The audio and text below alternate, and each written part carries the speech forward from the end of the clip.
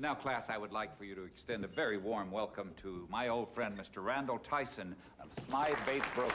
Randall? Thank you, Professor Ringo. Good to see you.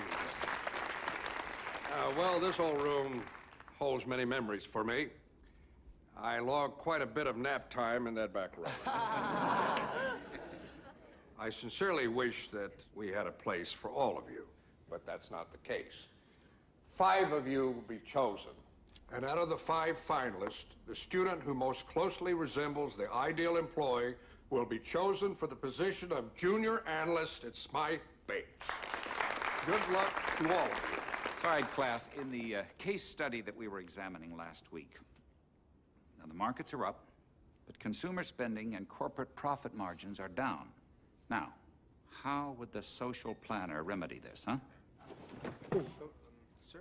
Downsize the labor force. This increases profit, and the resulting price cuts stimulate consumer spending. Yo, sir. Yo, difference of opinion here. Uh, Mr. Witherspoon, and we can do without the yoing?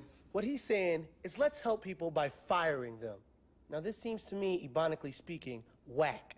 Perhaps Darryl does have a special insight into the blue collar, or should I say, hairnut mentality.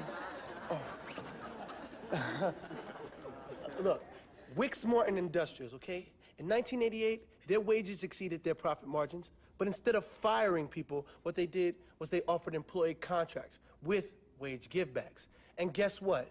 Their employees spent 50% more than they did the previous year. Now, what that proves is what the average Joe on the street already knows. The more money they have, the more money they can spend.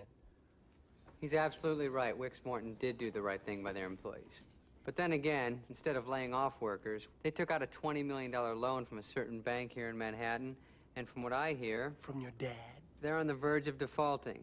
So what happens to your average working Joe when Wicks Morton goes down? I don't think they're going to end up in the checkout line. I think it's going to be the unemployment line. And the president of the company is going to be right there with them. Ebonically speaking, you don't know shit. Dare I say, you're out of your